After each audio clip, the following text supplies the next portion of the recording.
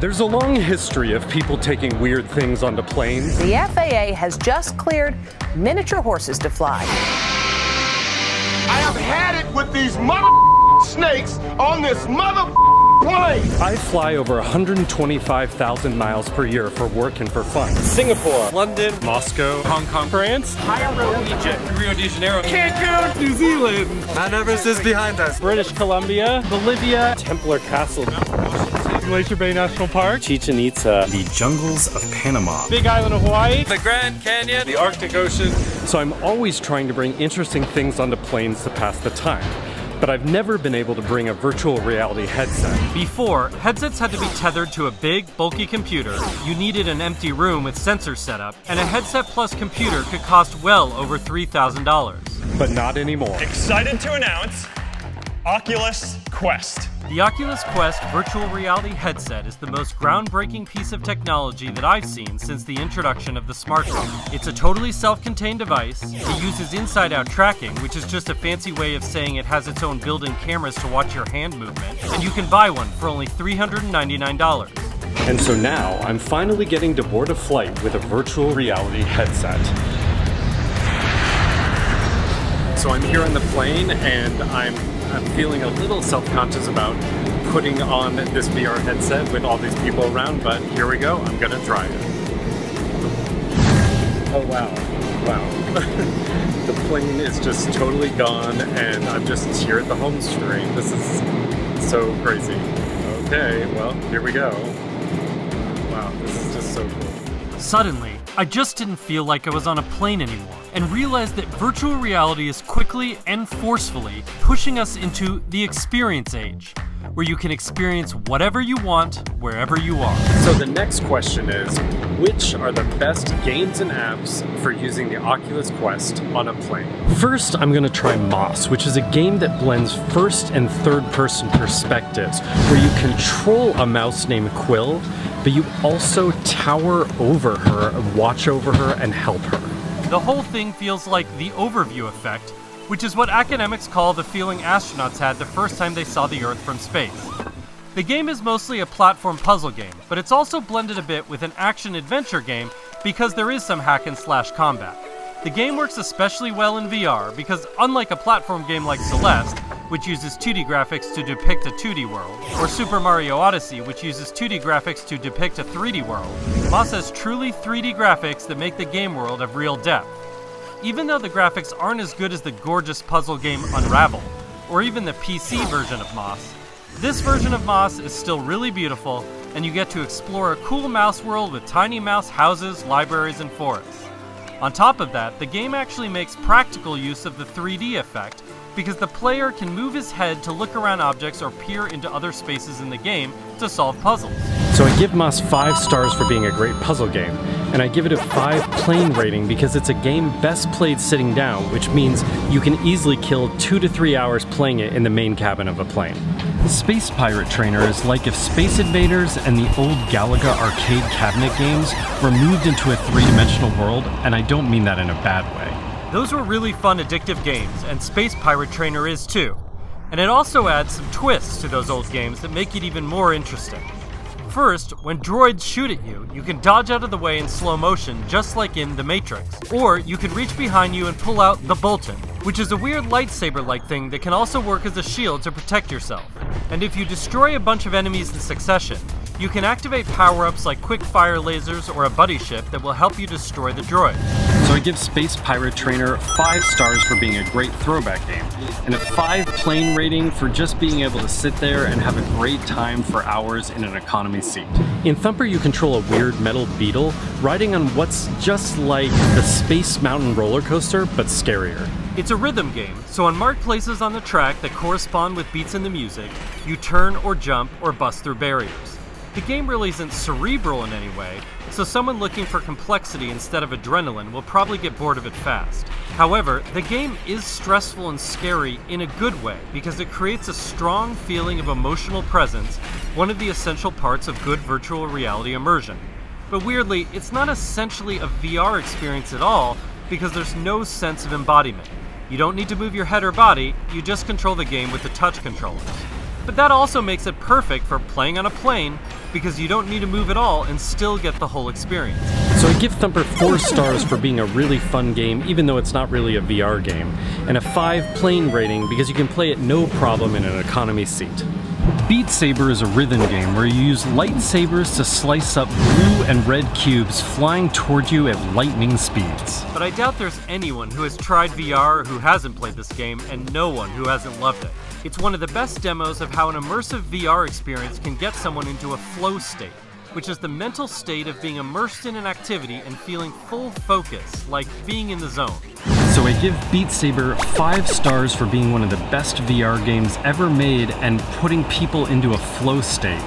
And a 4 plane rating for being a really good uh, game that you can play in a plane sitting down, though you do have to bob your head from side to side quite a lot. I probably don't need to explain that Angry Birds is a game where you shoot birds at pigs using a slingshot, because there's almost no one left on the earth that hasn't played the phone version. What's kind of surprising about the VR version, though, is that this is one of the best versions of the game ever. The big difference is that the puzzles are 3D structures, which means that in addition to firing birds, you'll need to teleport to hotspots around the puzzle to get the best vantage point. And the good news is that you're unlikely to get motion sickness from that because the teleport mechanic moves you immediately.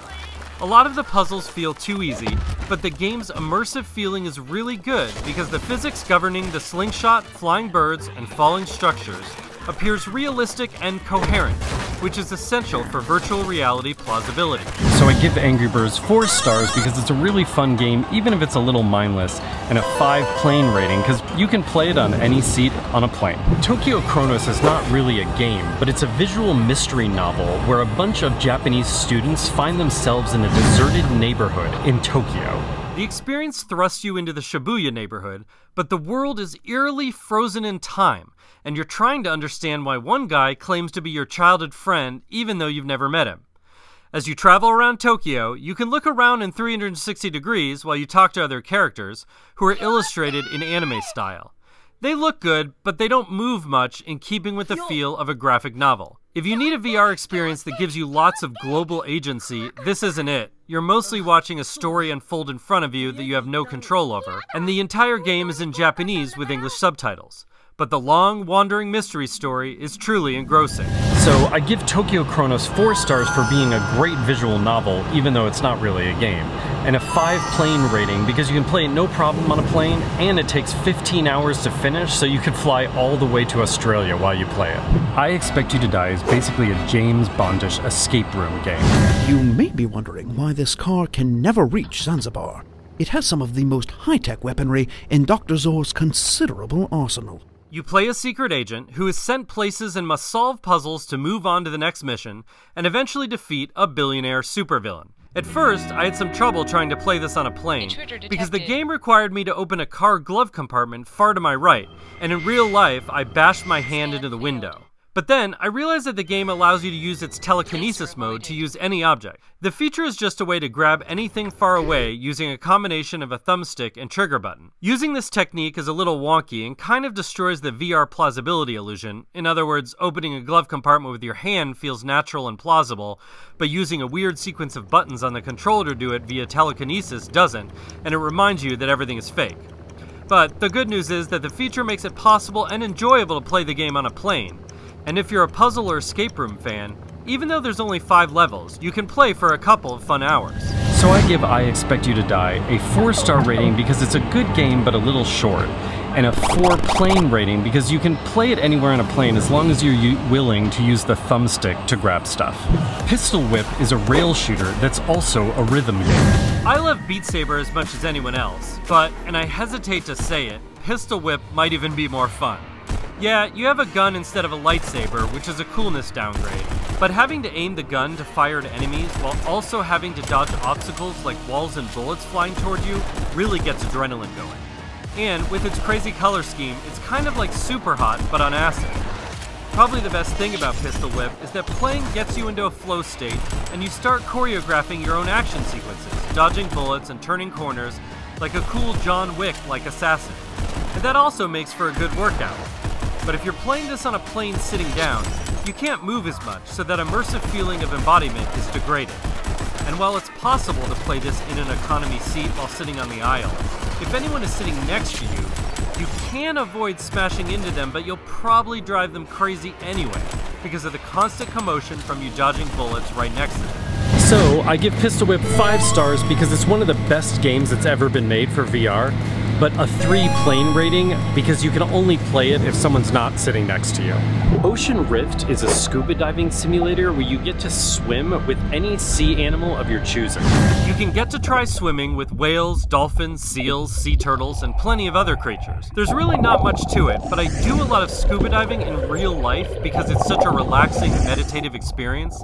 And this app wins high marks for creating the illusion that you're actually scuba diving in a real place. Especially for people who get anxious about or are scared of flying, this app helps them forget where they are and just lets them ocean rift and chill. So I give Ocean Rift 3 stars for being a pleasant swimming simulator, even though not very exciting. But 5 stars for being no problem to play anywhere on a plane. Tilt Brush is a virtual reality painting app, so it's not really a game per se. It's not as good for sculpting three-dimensional objects as other apps like Medium and Gravity Sketch, but Tilt Brush is perfect for people who want to spend their plane ride sketching or painting some art in a 3D space. And the feeling of hand presence while sketching is really palpable, even though sitting in a plane limits your movements. You can't make huge sweeping brushstrokes without punching someone nearby, and you can't walk around your art piece as you could in a room at home. But Tilt Brush has features to mitigate that problem. You can easily decrease or increase the size of your art, which makes it possible to make sweeping brushstrokes in a small space in front of you. You can move the art away from or toward you, and you can teleport around the space, which basically makes it possible to do anything on a plane that you could do with Tilt Brush at home. So, yeah, it's a great virtual reality experience for creative types to while away hours on a plane. So I give Tilt Brush 4 stars for being a unique and fun diversion, and a 3 plane rating for being able to play it on a plane but with limited movement. Robo Recall is one of the best VR games ever made for the Oculus Rift, and the Oculus Quest version is also a really good action shooter. The Quest version has some drawbacks. The graphics are disappointing compared to the Rift version, and you can beat all the levels in 2 to 3 hours. But you can easily play this game sitting down, even though the game's feeling of active presence with the Quest's inside out touch controller tracking is excellent. You can intercept bullets midair and swat them down or throw them back at enemies. You can grab robots with both hands and rip them apart. And you can grab guns from your hip or back holsters. The freedom of movement makes the game feel shockingly real, but it also makes it a bad choice for playing on a plane if you're sitting in economy. I definitely bashed my girlfriend sitting next to me a bunch of times trying to swap bullets away. But I also tried this game sitting in lie flat business class with much more space, and it worked great. I think this game would also mostly work fine in economy plus seats if you're sitting in the aisle and there's no one in the middle seat. So, playing it on a plane is a little tricky, but this is one of the coolest action games you can play in VR, period. So I give Robo Recall a 5 star rating for being one of the best VR games ever made, but only a 2 plane rating because you can really only play this in domestic first or in business class. Bait is a fishing simulator game where you catch fish to make money so that you can buy gear and get the privilege of fishing in better locations. Bait is just like fishing in that I think it's boring, but interacting with a fishing rod is a good example of when VR works well. If you know how to fish, you'll probably have no problem doing the right things with the virtual rod. I can't imagine playing this a second time, but I think that hardcore fishing fans will find it relaxing. So I give Bait 2 stars for being a convincing but boring fishing game, and a 4 plane rating because you can play it no problem on a plane, but you're probably not going to want to play it even for much of the flight before you get bored. VR Karts is just what it sounds like. It's like a Mario Kart style racing game that you get to play in virtual reality. It has all the established kart racing tropes speed boosts, skid turns, and weapons that you use on other players as you drive. But it still feels like the off brand. The graphics aren't great, the variety of the racing tracks is disappointing, and somehow it never seems much fun. If you're dying for any driving experience on the Quest, check it out, but a warning, the game made me motion sick quickly. So I give VR Karts 2 mm-hmm. stars for being a working VR game, and a 4 plane rating, but you'll probably get motion sick. Epic Roller Coasters is a roller coaster simulator that also has target shooting and racing modes. The problem with the simulator is that once you've ridden a coaster, there's not much more to it and you'll probably not want to ride it again. And you have to pay to download additional tracks, so you end up spending a bunch of money on coasters that you only ride once. You'd think that the other modes would help, but the racing didn't do much for me. I was excited about the shooting mode because I absolutely love the Buzz Lightyear Astro Blasters ride at Disneyland, but this experience paled in comparison. But the worst part was that riding just one coaster gave me intense motion sickness. Afterward, I didn't want to be in VR again for 45 minutes. Ugh. So I give Epic Roller Coasters two stars for being a decent roller coaster simulator, but I'd never play it again because it made me so motion sick. And a four plane rating because, like a roller coaster, you can just sit and watch, so it's no problem playing it on a plane until you throw up.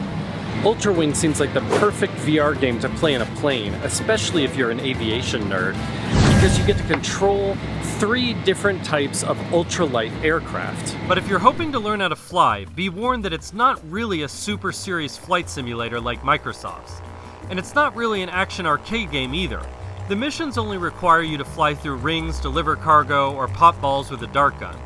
The game's graphics aren't great, and some people will definitely get motion sickness with the aircraft cockpit totally open. Unfortunately, it's almost impossible to take off in the virtual plane if you're trying to play the game while sitting in economy in a real plane, because the throttle is positioned pretty far to the left in the cockpit, so you're likely to swat the person or window next to you. But there is a bit of a rush when you take off into the virtual air for the first time, so if you really like the idea of flying a fake plane while on a real plane, the game's maybe worth a 30 minute spin. So I give Ultrawings two stars because it gets old really fast, and a three plane rating because you can play it, but only if you're in an economy seat on an aisle with no one to your left or in business class. Creed is a VR boxing simulation where you play Adonis Creed, the star of the Rocky sequels, fighting head to head against other boxers in a ring. The Oculus Rift version of this game is one of the most immersive sports titles that exists for VR. And while the Oculus Quest version is still a fun game, the graphics are a significant downgrade. The fighters look less detailed and the boxing rings feel empty.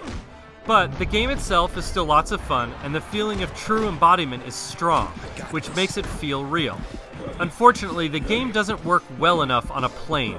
You can definitely play the game sitting down, but you need a lot of space in front of you for punching your opponents, and to the sides to bob and weave to avoid your opponent's attacks. And the game really gets your pulse rate up with the amount of violent air punching you need to do, so you'll likely disturb everyone on the plane around you.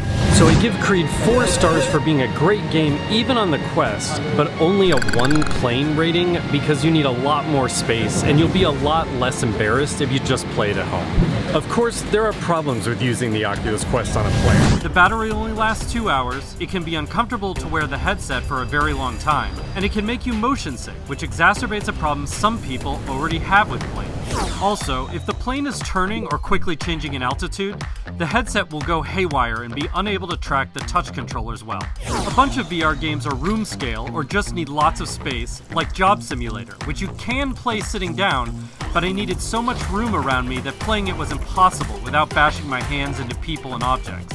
Easily connecting with and enjoying the presence of family and friends is one of the banner promises of virtual reality. So I tried to meet up with people in PokerStars VR over Delta's GoGo 2KU satellite internet connection, but soon after I joined a poker table, everyone around me creepily froze in time. I think the internet latency was just too high, which was a problem I also had with social apps Rec Room and Bigscreen, which is too bad because being able to plug into the metaverse from anywhere eventually will be a quintessential VR experience and it could totally get rid of the need for airplanes at all. But despite its flaws, the Oculus Quest is a great way to pass time on a plane, especially if you choose the right games to play. Thanks for watching, and don't forget to hit that like button and subscribe to see where I go next.